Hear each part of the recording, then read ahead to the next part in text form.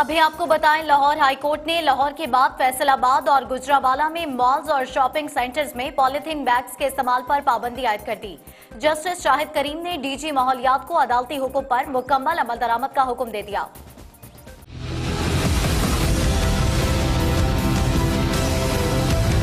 Lahore high court के justice Shahid Karim ने Salman Khan Niazi advocate की दरखास्त पर समात की। दरखास्त गुजार के वकील ने मौकफ इख्तियार किया कि अदालती हुक्म के बावजूद महकमा माहौलियात पॉलीथिन बैग्स के इस्तेमाल से मुतालिक पाबंदी के हुक्म पर अमल दरामद नहीं करवा रहा, जिसके बायस शहर में नकासी का सिस्टम मुतासर हो रहा है। शहरियों को शदीद मुश्किल का सामना करना पड़ रहा है, जबकि माहौलियाती आलूदगी में भी इजाफा हो रहा है। अदालत जिम्मेदारों के खिलाफ कार्रवाई करेगी।